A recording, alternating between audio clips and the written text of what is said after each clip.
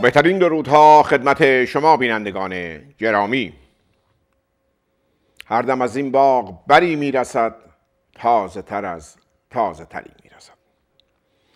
به میمنت و مبارکی با خبر شدیم که دانشمند محقق محقق اسلام شناس آقای توسی سعید توسی به سلامتی از دادگاه حکم تبرئه گرفتند و رئیس دادگاه اعلام کرد که آقای سعید توسی در حال تحقیق قلمان در بهشت برای افرادی که به بهشت وارد می شوند بود و این کسانی که به ایشان تهمت زده بودند و این قلمان ها به جای اینکه ابراز خوشحالی و شادی بکنند ابراز ناراحتی کردند به احتمال بسیار بسیار زیاد عوامل موساد بودند و به دستور اسرائیل یک چنین اعمالی را انجام دادند.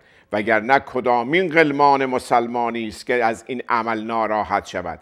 آقای توسی این شریف مرد اسلامی دگربار مردی که آقای مشتبا خامنه ای در صدا و سیدای جمهوری اسلامی اعلام فرمودند من از وجود آقای توسی فیض بسیار برده ام به سلامتی در آمدم در مورد آقای سعید توسی و جنایات که توسط ایشان انجام شده و با فافشاری آقای مشتبا خامنه ای و خود علی خامنه ای و دیگر رهبران این فرد به عنوان تبرئه آزاد شد و این یازده کودک و یا نوجوانی که از ایشان شکایت کرده بودند حتما محاکمه خواهند شد تا دگربار وقتی که مورد اطلاف قرآن خان قرار می‌گیرند شکایت نکنند. همین ها بودند که در اول انقلاب گروه زیادی از زنان فاحشه فقیر و گروه زیادی از کسانی که از نظر جنسی دو جنسی بودن رو اعدام کردند و گفتند لوات می‌کنند. اما در حکومت اسلامی چرا باید اعدام کرد؟ آقای توسی داشتند مسئله قلمان را در بهشت تحقیق می‌کردند. در ادامه برنامه با ما باشید با یک وکیل دادگستری جمهوری اسلامی خواهیم بود و این مسئله را پی می‌گیریم. با ما باشید.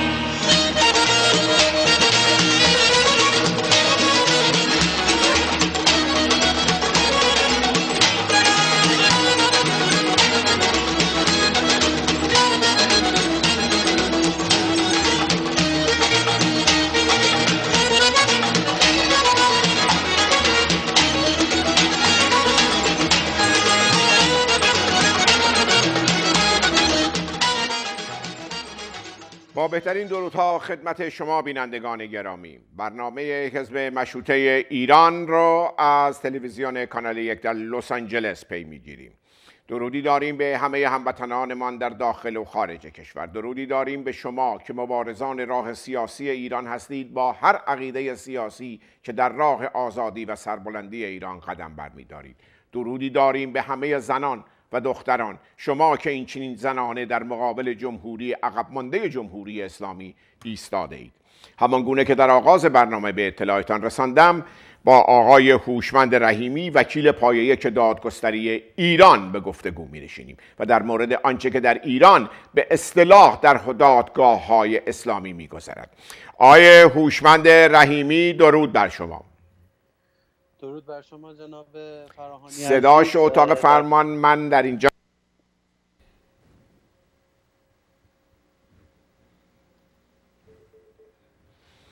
صدای آقای رحیمی رو من ندارم ولی می‌بینم که روی خط هست فراهانی درود بر شما. درود بر شما جناب رحیمی. با تشکر از اینکه وقتتون رو به ما میدین و می‌دونم که خیلی وقت کمی داریم. جناب رحیمی بزرگترین مسئله ای که امروز یعنی دیروز اتفاق افتاد آقای سعید توسی یک متجاوز به عنوان تبرئه شد و گفتند که کسانی که از ایشون شکایت کرده بودند در خلاف اسلام و در خلاف جهت این نوع اعمال تیز انجام وظیفه می‌کردند از طرف گروه های خارجی. آیا بچه های 11 12 ساله که اومدن و یک چنین ادعایی کردن ماموران موساد یا سیایه بودن؟ جناب فرخانی اجازه بدید پیش از اینکه من بحث آقای توسی رو باز بکنم. شما در ابتدای برنامه گفتید وکیل دادگستری جمهوری اسلامی. نه ما در واقع ما وکلای دادگستری یک علتی که جمهوری اسلامی اصلا با ما مشکل داره و در پی این هست که کانونهای وکلا رو تعطیل بکنه این هست که ما بیشتر طرف مردم میستیم تا طرف حکومت. اما در مورد آقای اگر اجازه بدین اجازه بدین کاملا صحیح میگین. من شما رو خودم رو تصحیح بکنم. من منظورم از گفتن وکیل جمهوری اسلامی منظورم این نبود که شما وکیل برای جمهوری اسلامی منظورم این بود که شما با قوانین جمهوری اسلامی آشنایی دارید. صحیح میفرمایید؟ بله. بفرمایید. خواهش می‌کنم. عرض می‌کنم که در مورد آقای سعید توسی ما دو تا رأی داریم. یکی رأی دادگاه اولیه یا دادگاه بعدی هست و یکی دادگاه شعبه 56 دادگاه تجدید نظر هست که دو تا رأی کاملا متضاد با هم دیگه هستن. بله. یعنی در رأی بدوی قاضی به درستی آمده و دلایل رو بررسی کرده. در رأی بدوی آمده که یکی از ادله دعوا ادله اثبات دعوا اسمس یا پیامکی بوده که برای یکی از شکات از طرف آقای توسی ارسال شده که متن این اسمس به این صورت بوده. من می‌دونم از من بدت میاد ولی خدا می‌دونه به خاطر تدین دوست دارم. عرض شود که و از این دست اسمس ها زیاد بوده اینطور که در رأی بدوی نوشته شده. همچنین دو فقره دست نوشته هست از خود آقای توسی که یکی مورخ 29 یک 1390 در صفحه 5 پرونده و یکی 11 5 91 در صفحه ارزم به حضورتون که 46 پرونده اونطور که در رأی بدوی اومده نوشته شده مضبوط هست که ایشون اعلام پشیمانی کرده از اعمال شنیعی که انجام داده. ببینید به عنوان یک وکیل دادگستری و به عنوان یک شخصی که حقوق خونده می‌خوام رأی رو نقد بکنم. الزاما نمی‌خوام بد بگم یا خوب بگم اما متوجه میشید در صحبت های من که چه جاهایی چون رأی سه صفحه‌ای تجدید نظر در نگاه اول که ما می‌خونیم یک رأی کاملا مستدل و درست هست اما باید بحث رو باز بکنیم تا متوجه بشیم ایراد کار از کجا هست.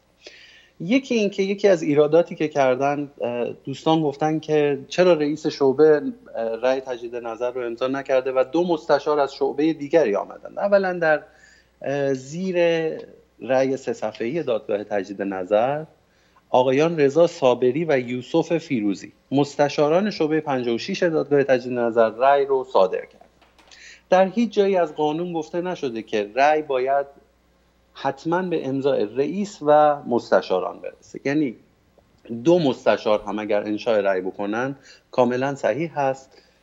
و ریاست شعبه تجدید نظر یک ریاست اداری هست. ریاست قضایی وجود نداره.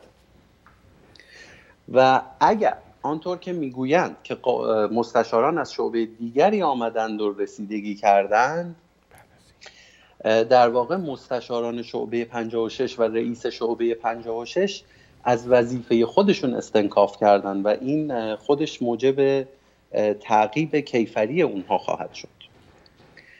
اما این احتمال وجود داره که این بیانی که مستشاران از جای دیگری آمدند از شعبه دیگری آمدند یک سخن دو پهلویی باشه که بخواد استقلال قضات رو در واقع زیر سوال ببره. مورد دوم در مورد این رأی آقای توسی برخورد دوگانه قوه قضاییه هست. ببینید اصل سی و هفت قانون اساسی قانون اساسی جمهوری اسلامی و ماده چهارم قانون آین دادرسی کیفری بر اصل براعت تأکید و تایید می‌کنن یعنی در واقع اصل بر این هست که انسان ها براعت دارند و جرمی را انجام ندادن مگر آنکه خلافش ثابت بشه. در حقوق کیفری ما اصل تفسیر مزیق و تفسیر به نفع متهم داریم. یعنی باید ماده قانونی به حدی دایره شمولش تنگ و کوچیک بشه که حتی شده متهم فرار بکنه از جرم. به این ترتیب هستش. ماده 11 اعلامیه حقوق بشر و اصل 20 قانون اساسی هم تاکید دارن بر اینکه هر شخصی باید دسترسی داشته باشه به یک دادرسی عادلانه و همه در برابر قانون یکی هستند خب این خیلی خوبه. یعنی اگر آقای توسی در برابر قانون یکی بوده با دیگران و نهایتا چون این رأی براش صادر شده ما باید تبریک بگیم به قوه قضایی جمهوری اسلامی. اما وقتی ما به کلیت موضوع از بالا نگاه می‌کنیم متوجه نمیشیم که چرا این اصول که اصول اولیه هستن فقط در مورد آقای توسی اعمال میشه و در مورد اون مداهی که دوست دخترش از جاسوسان انگلیس عذاب در اومد و یا در مورد زهرای لاریجانی دختر جناب آقای صادق لاریجانی رئیس قوه قضاییه که اتهام جاسوسی ایشون هم برملا شد. چرا این اصول در مورد اینهایی که نزدیکان هستن اجرا میشه؟ چرا برای دیگران این این دست اصول عملا اجرا نمیشه؟ مسئله سوم ادله اتهام زیاد بوده. تحقیق کافی صورت نگرفته. در رأی بدوی به درستی قاضی اشاره کردن که آقای توسی هیچ خللی بر دو نامه دست نوشته خودشون وارد نکردن. و حتی اونها رو نفی نکردن. یعنی گفتن نوشتم. پیامک هاشون رو نفی نکردن. شهودی که ایشون آوردن شهودی بودن که در صحنه جرم نمی‌تونستن حضور داشته باشن. در حالی که اگر به فرض ما رأی دادگاه تجدید نظر رو قبول بکنیم که میگن که شهود شکات شنیده های خودشون رو اومدن شهادت دادن ما به هر حال ای رو داریم که در اون کمپ خاص حضور داشتن. و همه دارن از یک موضوع شکایت می‌کنن. پس نمی‌تونیم بگیم که ادله کافی وجود نداشته بلکه دادگاه تحقیق کافی رو انجام نداده. اون هم دادگاه تجدید نظر. تو به نامه ایشون یک اقرار ضمنی است. ببینید باز برمیگردیم به اینجا دادگاه تجدید نظر. داره میگه که ایشون هیچ اقراری نکرده همش انکار کرده. خیر تو به نامه ایشون یک اقرار ضمنی است. ما اگر بخوایم اثبات این گونه جرایم رو تا این حد سخت بگیریم که هر کسی که بهش تجاوز بشه یا مورد ظلم قرار بگیره که دیگه نمی‌تونه بره دادگاه تظلم خواهی بکنه و این باعث میشه که ما برگردیم به اصول اولیه انسانهای عهد حجر که بگیم که خب خودمون میریم حقمون رو می‌گیریم دیگه وقتی قوه بله. قضاییه نمی‌تونه حق ما رو بگیره در جایی در رأی گفته شده که بازپرس خارج از شکوایی اومده عنوان مجرمانه داده. ببینید شکایتی که شکات تقدیم کردن دو عنوان مجرمانه داشته. تشویق به فساد و فحشا از طریق بیان مطالب غیر اخلاقی و تحریک جنسی نوجوانان و ارتکاب اعمال منافی افت و افعال حرام. این دو مورد رو شکات نوشتن مورد تفخیز رو ارزم به حضورتون که خود بازپرس اومده احراز کرده. یعنی ماده 235 قانون مجازات اسلامی تفخیز رو معنی کرده و گفته که عین ماده رو می‌خونم قرار دادن اندام تناسلی مرد بین رانها یا نشیمنگاه انسان مذکر. تبصره دخول کمتر از خط نگاه تفخیز محسوب می شود ماده 237 میگه همجنسگرایی غیر از تفخیز از قبیله. یعنی داره مثال می‌زنه. نمیگه فقط همینایی که من دارم میگم. میگه مثل اینها. تقبیل یعنی بغل کردن. یا ملاسمه یعنی لمس کردن. از روی شهوت موجب یه همچین تعذیری می‌شود. بعد در رأی شعبه تجدید نظر شعبه 56 آمده که حالا ایشون اگر ملاعبه ای هم کرده مشمول ماده 237 نمیشه. خب ملاعبه پس مشمول چی میشه؟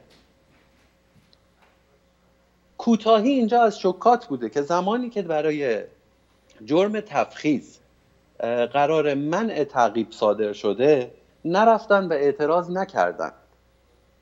و الا خیلی راحتتر می‌تونستن بحث رو پیش ببرن. از طرف دیگه دادگاه میگه که این دو عنوان در شکایت اومده. بازپرس و قاضی حق نداشتن عنوان دیگه اضافه بکنن. خیر به تصریح ماده 280 قانون آین دادرسی کیفری عنوان اتهامی رو شاکی موظف نیست به دادگاه بگه. یا حتی عنوان اتهامی اگر میگه به اشتباه هست و صدق نمی‌کنه بازپرس یا قاضی موظف هست که اون عمل جرمی که انجام شده رو عمل منصوب رو احراز بکنه که با کدوم ماده قانونی می‌خوره. ببینید مسئله حقوق کیفری مثل حقوق مدنی نیست. ما در حقوق مدنی اگر دعوایی رو مطرح بکنیم که در این دعوا ما عنوان خواستمون رو اشتباه نوشته باشیم طبق قانون این دعوا رد میشه و قاضی تکلیف می‌کنه به, به خواهان پرونده که با عنوان درست دعوات رو مطرح بکن. اما در مسئله کیفری چون این چیزی نیست. هیچ کدوم از شکات وظیفه ای نداشتند که عنوان مجرمانه بگویند. پس اگر عنوان مجرمانه هم احراز شده به درستی احراز شده. در جای دیگه از رأی نوشته شده که شهادت بر مسموعات دادند شهود شکات. خب شهادت بر اقرار اصلا بگیم دادن.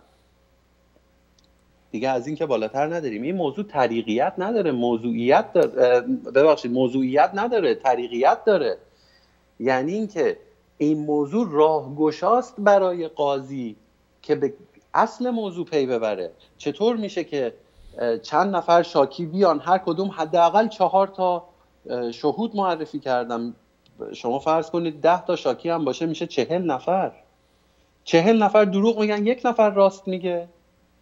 بعد شهادتی که آمدن شهود آقای توسی دادن چی بوده؟ گفتن ایشون قاری قرآنه و حسن اخلاق داره. بعد مستند به این شهادت اون شهود رو اومدن رد کردن. در رأی تجدید نظر مجددا ماده 160 قانون مجازات اسلامی رو آوردن بهش استناد کردن و گفتن هیچ کدوم از ادله اثبات اینجا وارد نبود. حالا ماده 160 قانون مجازات اسلامی میگه ادله اثبات دعوای کیفری اقرار که همونطور که گفتم توبه نامه دست نوشته آقای سعید توسی اقرار ضمنی بوده. بله. اقرار شهادت قسامه سوگند و علم قاضی. ببینید در پرونده های کیفری ما علم قاضی رو داریم. یعنی اگه اصلا شما هیچ ادله هم ندارید. همینقدر که قاضی براش احراز بشه که یک همچین جرمی اتفاق افتاده یعنی علم قاضی اتفاق افتاده و قاضی مستند به علم خودش می‌تونه حکم محکومیت بده. چرا هیچ کدوم از موجبات ماده 160 وجود نداشت؟ چه چیزی غیر از اعمال نفوذ در این پرونده می‌تونه همچین رأی رو که عرض کردم اول صحبتام به ظاهر وقتی اول موضوع ما این رأی رو می‌خونیم یک رأی مستدل و مستند و خیلی خوب هست. اومدن در رأی گفتن که طبق ماده 639 جرمی صورت نگرفته. ماده 639 میگه افراد زیر به حبس از یک تا ده سال محکوم می‌شوند.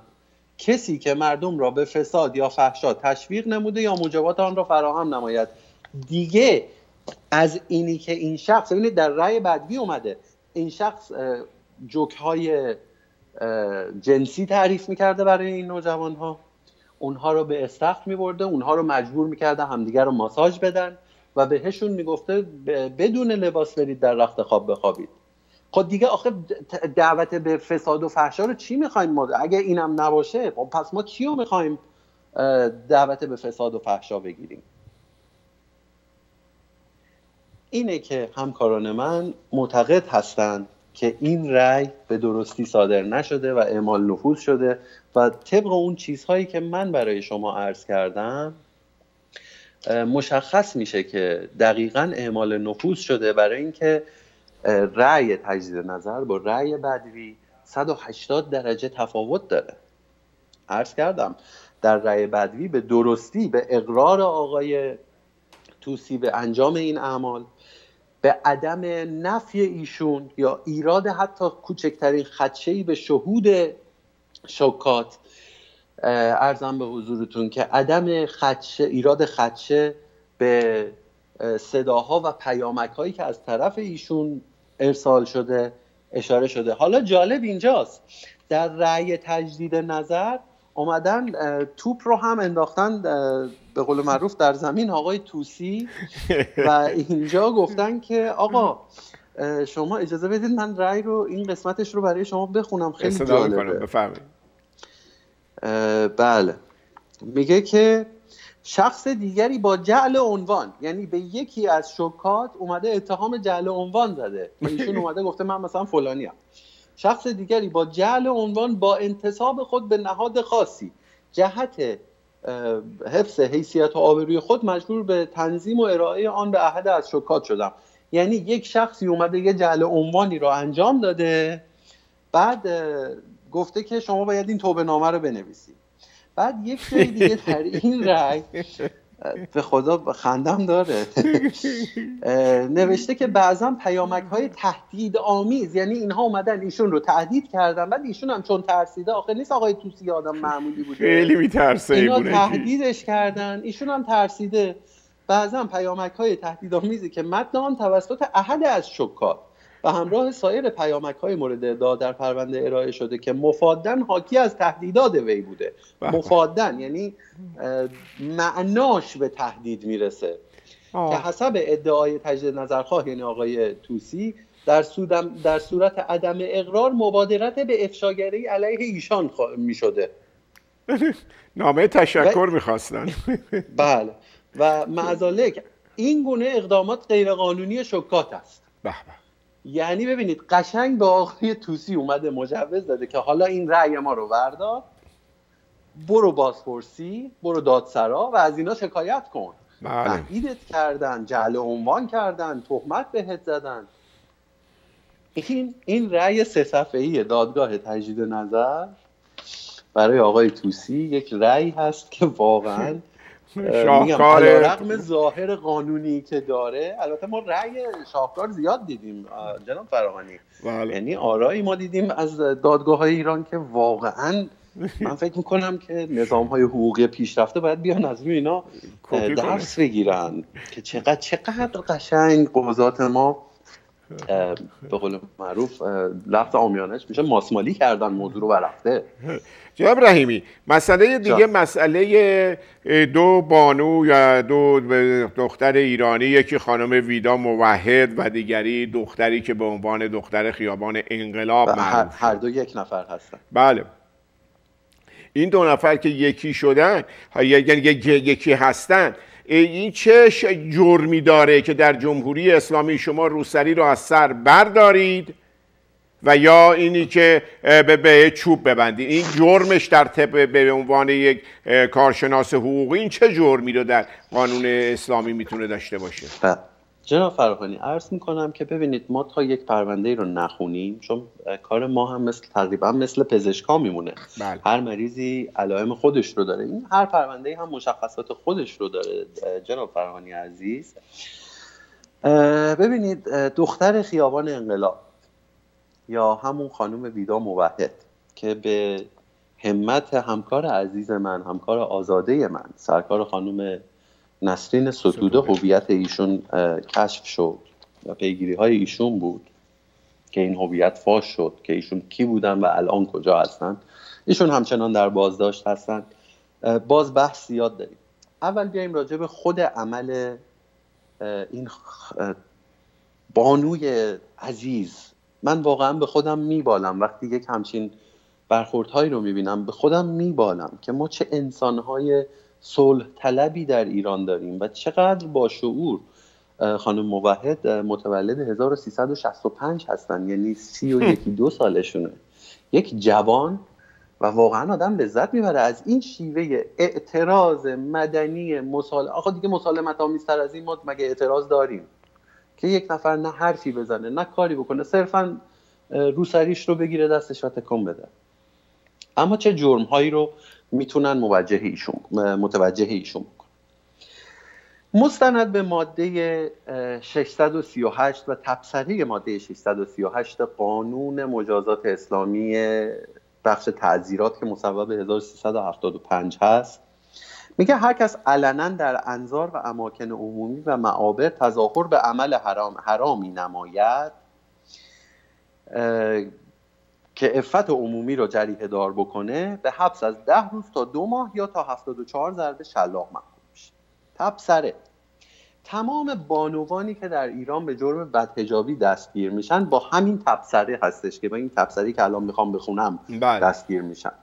زنانی که بدون هجاب شرعی در معابر و انظار عمومی ظاهر شوند به حبس از ده روز تا دو ماه و یا از پنجاه هزار تا پانصد هزار ریال جزای نقدی محکوم خواهند شد. هجاب شرعی تعریف قانونی نشده. بنابراین هر موقع اصلا از شکل یک نفر هم این گشت های ارشاد خوششون نیاد می‌تونن بگن جرم بد هجابی داشته ایشون بله. پس یک مورد از جرایمی که می‌تونه متوجه ایشون باشه جرم بد هجابی هست. بله. یک مورد مورد ببینید مورد بعدی جرم سیاسی یا جرم امنیتی هست که می‌خوام باز بکنم. قبل از اینکه من وارد موادش بشم این رو بگم که یک دایره وسیع جمهوری اسلامی تعریف کرده برای جرایم امنیتی و برای جرایم سیاسی. و از هر چیزی خوشش نمیاد فوری میندازتش تو این قالب. یکیش تبلیغ علیه نظام هست. ماده 499 و 500 قانون مجازات اسلامی 75 میگه هر کس در یکی از دسته ها یا جمعیت ها یا شعب جمعیت های مذکور در ماده 498 هم محارب ها رو میگن ما, ما که محاربیم. در واقع عضویت یابد. محاربیم دیگه. من که نیستم شما اختیار قرب ما هممون محاربیم. یعنی کلا غیر از اون نه من خودم جمهوری اسلامی نه من خودم بارها اعتراف کردم محارب ضد انقلاب هر چی که دلشون می‌خواد من هستم. هر کاری هم دلشون بله. می‌خواد بکنن.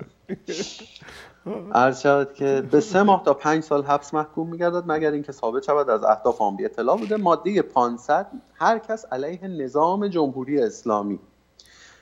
یا به نفع گروه ها و سازمان های مخالف نظام. به هر نه فعالیت تبلیغی نماید به حبس از سه ماه تا یک سال محکوم خواهد شد. جرمه. تبلیغ علیه نظام. خب سوال می‌کنیم. خانم ویدا موحد صرفا یک روسری بر سر چوب زد و رفت وایساد روی یک از این جعبه های برق توی خیابون انقلاب و اون رو تکون داد. خب ایشون که عضو دستجاتی نبوده. متاسفانه یا خوشبختانه باید این رو بگم کمپین چهارشنبه های سفید بله. الان یک شخصیت حقوقی مستقل پیدا کرده و بله. از نظر جمهوری اسلامی چهارشنبه های سفید یعنی یک گروه معاند بله بنابراین طبق اخباری که من شنیدم ایشون الان تحت فشار هستن که اقرار بکنن. کما اینکه ما در مورد خانم زاغری و آقای دکتر جلالی همین رو دیدیم که آمدند و گفتن آره ما جاسوسی کردیم و با موساد کار می‌کردیم و با سیا کار می‌کردیم و اینها. البته من نمی‌دونم چرا اینا هیچ کدوم با کاگبه کار نمی‌کنن. احتمالا به خاطر اینکه کاگبه خودش تو ایران خود کاگبه می‌کنه این کارا رو. بله بله. ارزم به حضورتون که ببینید الان خانم موحد تحت فشار هستند نه خانم موحد محمد نجفی. بله. وکیل دادگستری که معروف هست به وکیل شازندی همکار عزیز من دوست عزیز من. الو؟ بله من در خدمتم. خواهش می‌کنم. من ببخشید من صداتون رو نمیشنم نه من هستم شما بله. صدای من میشنوید؟ عوض می‌خوام. بله بله, بله عرض می‌کردم که محمد نجفی الان اخبارهایی که اومده حاکی از این هستش که ایشون تحت فشار هستن اینها که اقرار بکنن به این موضوع که ما با عوامل خارجی در تماس بودیم و برای اونها کار کردیم. یک جرم دیگه ای که ممکنه متوجه خانم موحد بشه جرم اخلال در نظم عمومی هست موضوع ماده 618 میگه هر کس با هیاهو و جنجال یا حرکات غیر متعارف یا تعرض به افراد موجب اخلال نظم و آسایش و آرامش عمومی گردد یا مردم را از کسب و کار باز دارد به حبس از سه ماه تا یک سال و تا 74 ضرب شلاق محکوم خواهد شد. پس سه مورد اتهام ممکنه متوجه ایشون باشه. که عرض کردم خانم ستوده پیگیر کار ایشون هستن. هنوز ما نمی‌دونیم که ایشون دقیقا با چه اتهامی روبرو هستند اما حدس می‌زنیم یکی از این سه مورد و به طور خاص اخلال در نظم عمومی باشه که ایشون متهم شدن. موضوعی که در مورد ویدا موحد الان باید راجع به صحبت کنیم. موضوع بازداشت موقت هست. ببینید ماده 237 قانون آین دادرسی کیفری. اصل 32 قانون اساسی. و ماده 46 قانون آین دادرسی کیفری. ارزم به حضورتون که ماده 189 قانون آین دادرسی کیفری. این مواردی که من عرض کردم خدمتتون اینها میگن بیشتر از 24 ساعت بازداشت موقت نمیشه داشت. در صورتی که الان خانم ویدا موحد بیش از 24 ساعت هست که بازداشت هستن. ماده 237 میگه صدور قرار بازداشت موقت فقط در مورد جرایم زیر امکان پذیره مازاده بر 24 ساعت مثلا یکی جرایمی که مجازات قانونی اونها سلب حیات قطع عضو و در جنایات عمدی علیه تمامیت جسمانی جنایاتی که میزه میزان دیه آنها سلس دیه کامل مجنی علیه یا بیش از آن است. که خب خانم موحد جرمش حتی اگر ما اخلال در نظم عمومی یا تبلیغ علیه نظام هم بگیریم به هیچ کدوم از این موارد بند الف نمی‌خوره. بند ب. جرایم تعذیری که درجه چهار و بالاتره. درجه چهار یعنی حبسش بیش از باید حبس بین پنج تا ده سال داشته باشن. خود پنج سال هم نه پنج سال و یک روز تا ده سال. خب ما توی این قوانینی که خوندیم ماده 618 499 و 500 دیدیم که اصلا ایشون حبس پنج سال بیشتر ندارن. بند پ میگه جرایم علیه امنیت داخلی و خارجی کشور که مجازات آنها درجه پنج و بالاتر باشد. درجه پنج میشه بین دو تا پنج سال یعنی دو سال و یک روز تا پنج سال حبس. که باز می‌بینیم که در موادی که من برای شما خوندم جرم بله. ایشون شامل درجه پنج هم نمیشه. بنابراین بازداشت ایشون بازداشت موقت ایشون یک بازداشت غیرقانونی هست. دقیقا. ممکنه بازپرس بیاد بگه طبق ماده 238 من می‌تونستم این کارو بکنم. خب ماده 238 هم در آین دادرسی کیفری سه تا بند بیشتر نداره. یکی بند الفش. میگه اینکه متهم اگر آزاد باشه آثار و ادله جرم از بین بره یا بره با, با متهمای دیگه تبانی بکنه.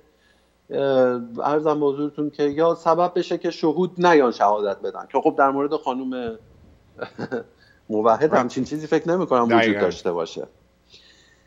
مورد ب بیم فرار یا مخفی شدن متهم و به طریق دیگر نتوان از آن جلوگیری کرد.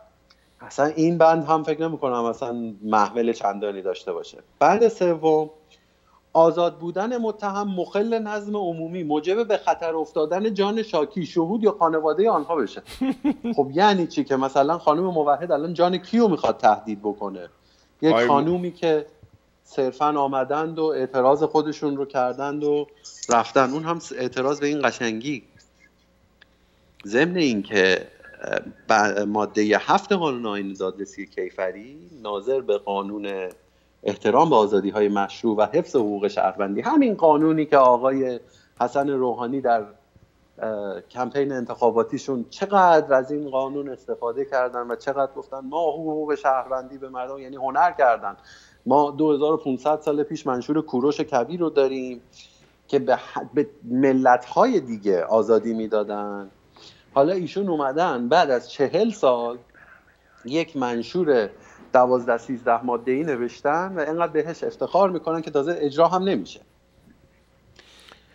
بسیار عالی. آیه رحیمی از شما بسیار بسیار متشکرم. ولی در اینجا از شما و همه کوشندگان سیاسی با هر عقیده سیاسی که هستن می‌خوام می‌خوام دعوت کنم یک کمپین بین المللی سراسری از امریکا تا ژاپن باید به وجود بیاد باید از خانم ویدا موحد حمایت بشه. باید به سازمان ملل مسئله خانم ویدا موحد رو کشاند. باید به کاخ سفید کشان باید به خانم نیکی هیلی این خبر رو برسونیم. باید به ایشون بس بکن به فدر به پارلمان اروپا این خبر رو برسونیم. دیگه یه روز بسه. یه روز مردم ایران باید روی پای خودشون بیستن. و بگن ما دیگه لایق اینقدر تو سری خوردن. و اینقدر توسی ها نیستیم. دیگه بس کنید. ما دارای یه سنین آدمایی هستیم که می‌تونیم همانند انسان زندگی کنیم. 1400 اندی سال پیش گذشت. قرن 21 آیت هوشمند ایمی بسیار بسیار از شما متشکرم و به امید که در برنامه های آینده از دانش شما بهره بگیرم. شما بزرگوار هستید خدمت از بنده هستش من در خدمتون خواهم بود. با کمال میل خوشبختانه سازمان عفو بین الملل خواستار آزادی بدون قید و شرط خانم موحد شدن. اما عرض می‌کنم خانم موحد تنها نیست الان محمد نجفی و خیلی های دیگه در زندان هستن و تحت فشار هستن که اعتراف بکنن. اعتراف هایی که همه ما بارها دیدیم و هم می‌دونیم که پشت این اعتراف ها چی هست. به امید آزادی ایران باشیم. می‌دونیم که جمهوری اسلامی به درخواست سازمان عفو بین الملل وقعی نخواهد نهاد کما اینکه تا حالا هم نهاد مجبور میشه آقای رحیمی مجبوره این در امیدوار در هستیم که به زودی خانم زاغری خانم موحد آقای دکتر جلالی و همه زندانیان سیاسی و همه زندانیان عقیدتی و سیاسی که طبق بند اصل 23 قانون اساسی خودشون اصل 23 قانون اساسی جمهوری اسلامی تفتیش عقاید ممنوعه و هیچ کس رو به داشتن عقیدی خاص نمیشه محاکمه کرد. امیدواریم که همه اینها آزاد بشن و ما در ایران آزاد همدیگر رو ببینیم و همدیگر رو در آغوش بکشیم. متشکرم از شما. بینندگان عزیز تنها قانونی که ما می‌شناسیم قانون حقوق بشره قانون اسلامی غیر اسلامی یه ذره اسلامی یه ذره مذهبی رو نداریم. قانون حقوق بشر در مورد ایران و ایرانی باید اجرا بشه. میریم و باز میگردیم.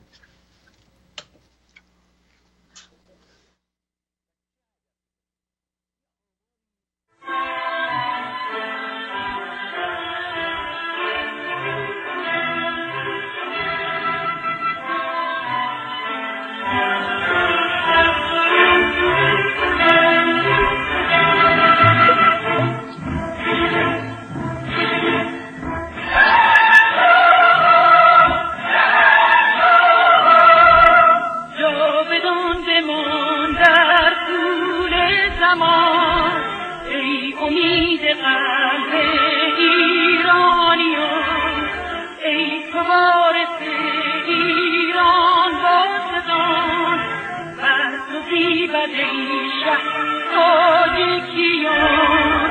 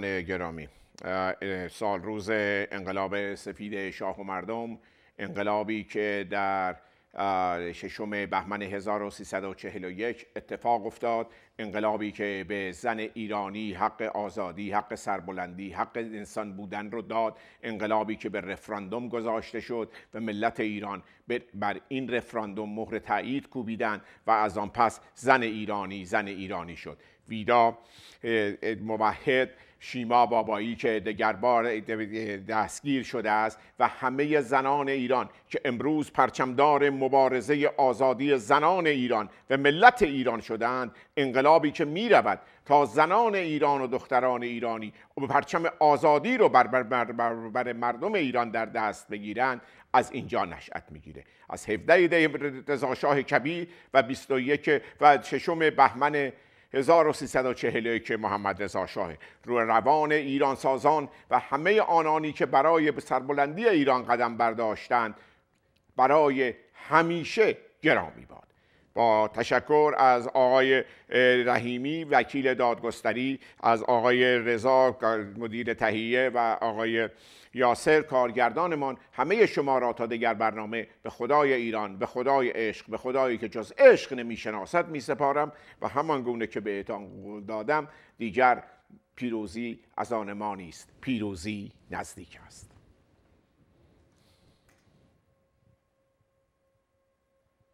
you